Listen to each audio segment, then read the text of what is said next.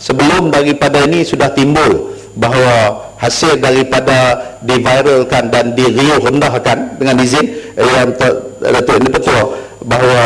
uh, kita punya nilai pegangan pada masa itu 98 sen dengan tidak mengambil kira yang saya katakan daripada syarikat-syarikat dan anak-anak syarikat termasuk syarikat sekutu dan sebagainya yang berhubungan dengan tabung haji uh, diviralkan yang demikian menyebabkan riuh di luar sana memohon benar atau tidak tabung haji sekarang ni tak bukan hanya tak kadar tak boleh membayar dividen dan bonus bahkan menanggung kerugian uh, dalam keadaan yang seperti itu. Tapi jawapan kita daripada jawapan balas kita berulang kali uh, sehingga uh, jenuh untuk kita nak menjelaskan kedudukan sehingga kita beritahu kita kita akan umumkan bahawa apabila nanti waktu tiba dividen dan bonus. Namun uh, ada orang sebut pula di sana dia kata biasanya tahun yang lalu kita umum awal